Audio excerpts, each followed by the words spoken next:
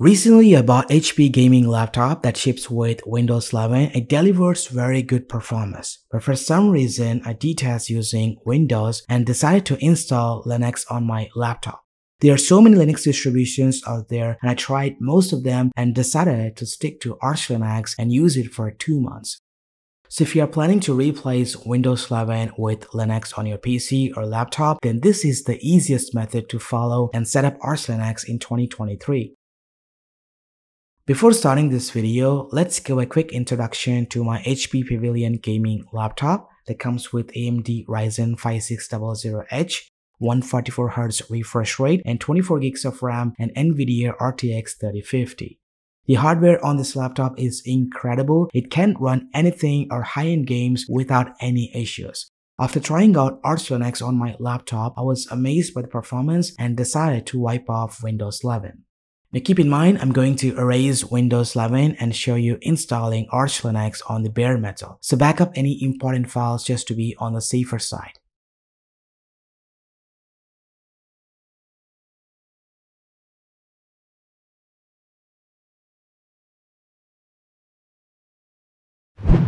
With that being said, it's time to get started with the Arch Linux installation. First, head over to the Arch Linux website and download the ISO image.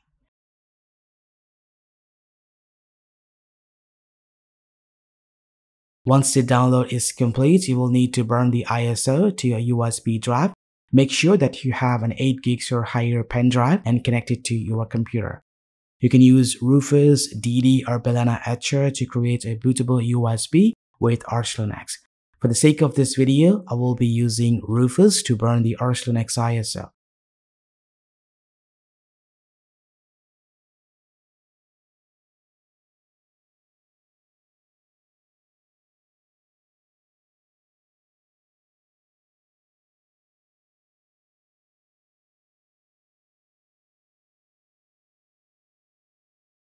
Once it's done, go ahead and reboot your computer.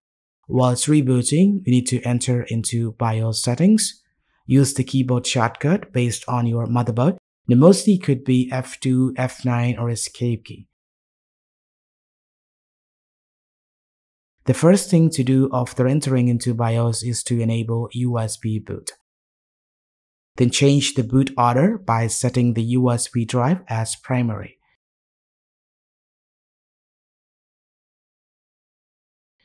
Go ahead and disable secure boot, which is very, very important. Otherwise, Arch Linux may not going to boot. If you have any option like Microsoft's third-party UEFI, just go ahead and enable it. It's also better to clear any keys or certificates after disabling the secure boot. this way, it won't cause any installation problems. Now, once it's done, save the changes. Now, your system will boot into Arch Linux from the USB drive.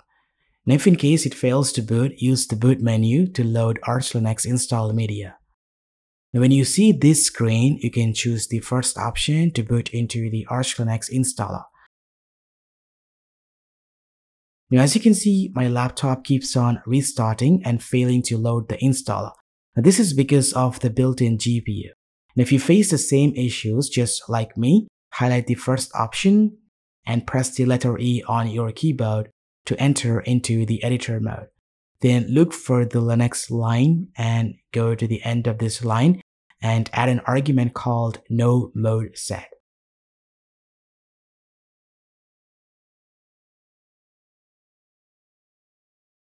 Now press F10 to load the kernel with the new argument. This is going to disable the iGPU or NVIDIA GPU and loads the installer in safe graphics mode.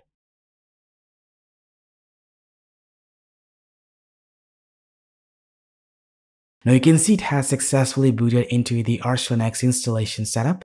The first thing is to check for the stable internet connection. If your computer is connected to the internet via ethernet cable, you can use the ping command to check the connection. If your computer has built-in Wi-Fi support, you can use the IWCTL tool to connect to the internet. To use IWCTL, simply type IWCTL in the terminal to enter the IWD shell. Then type the device list to see the list of network interfaces. Then look for WLAN 0 and then type device WLAN 0 show to see more information about the WLAN 0 interface.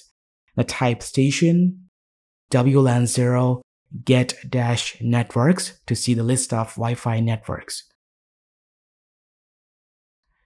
Next, run the command station WLAN 0 connect and enter the name of your Wi-Fi network. Then press the return key and enter the Wi-Fi password. After entering the password, wait for 5 seconds and press the enter key to connect to the internet. You may not see any output, but if the connection was successful, you can simply exit the IWD mode. That's it, you have successfully connected to the internet and you're ready to continue with the Arch Linux installation process. Now run the ping command and make sure you are receiving the packets.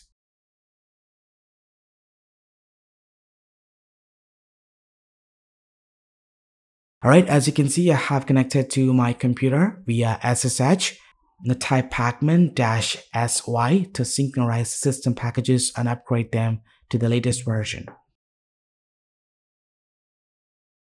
Now run these two commands before using pacman.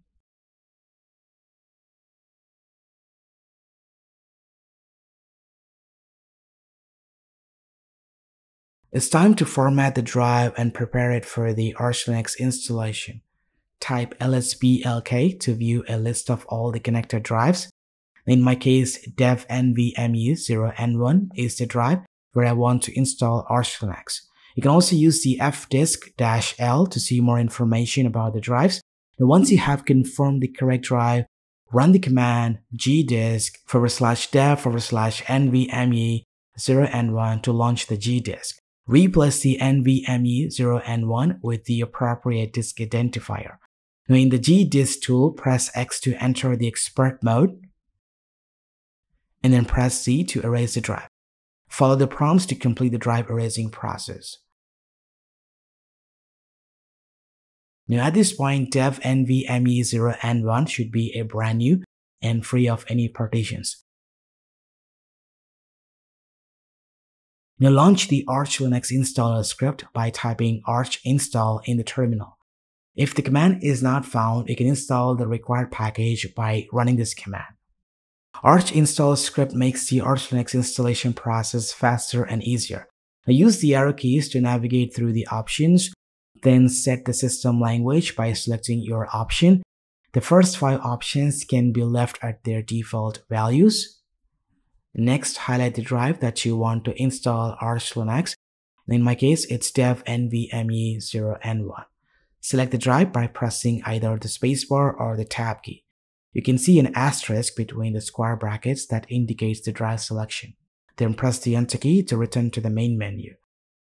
Now select the disk layout and choose the second option to wipe the drive and use the default partition layout. You can choose BTRFS as the file system for the installation. Additionally, if you want to secure your installation with encryption, you can set an encryption password.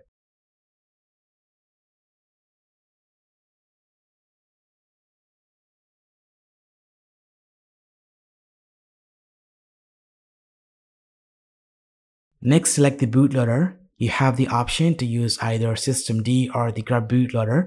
I'm going to choose grub. I will leave the swap value set as true and leave the hostname as archlinux. Now after that, set the root password and assign a password for the root user. Then create a new user account.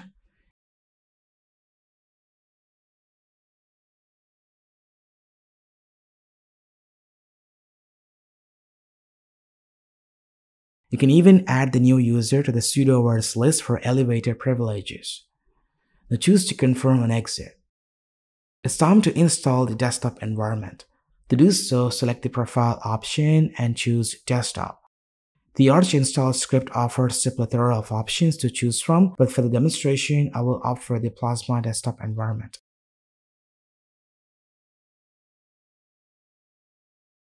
Next, select the graphic drivers that you want to install. If you have a dedicated NVIDIA graphics card, choose the proprietary or Nouveau driver accordingly. Then select the audio option and choose the audio server. For best results on most computers, it's recommended to use Pipewire. If you wish, you can also install additional kernels, but for now, I will stick with the default or the latest kernel. Under the additional packages, you can specify a list of tools to be installed separated by spaces. Now after that, select the network configuration and choose to use the network manager. Finally, select your time zone to set the correct time on your system. You go ahead and check all the options and have not left anything blank.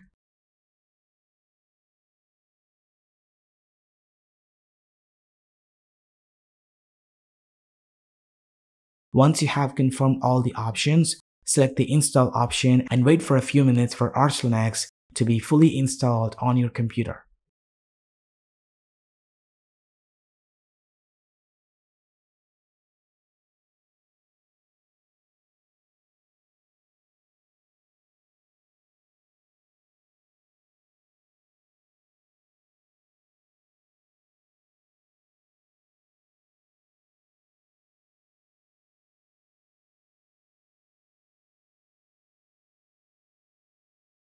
That's it, with a few simple steps you have successfully installed Arch Linux using the Arch install script. The prompt to perform post-installation steps will appear once the installation has been completed. Select Yes to enter the chroot environment and start customizing your new Arch Linux installation.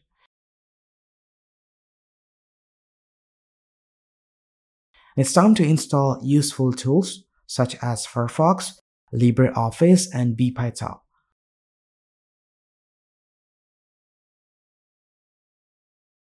Once you have finished installing, exit the chroot environment and type reboot to restart your computer.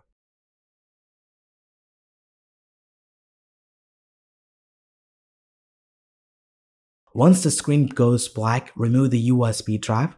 The computer should boot automatically into Arch Linux. But in case it doesn't, you can select the drive from the boot menu.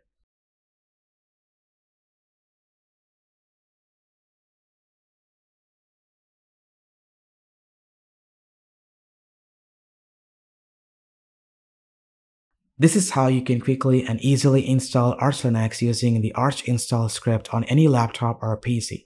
Let me know what do you think in the comment section down below. Thanks for watching this video. This has been KSK Royal. I will see you in the next one.